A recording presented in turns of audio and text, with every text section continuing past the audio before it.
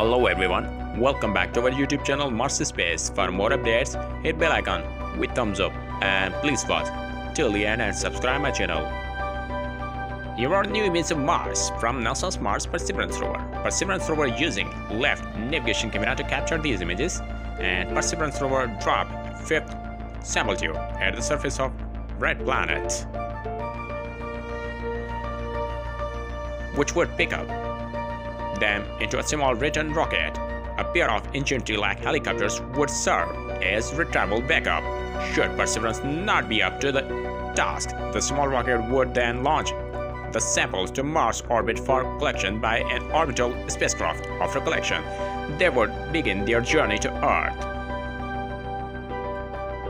If you like this, hit thumbs up and don't forget to share to your friends. Thanks for watching.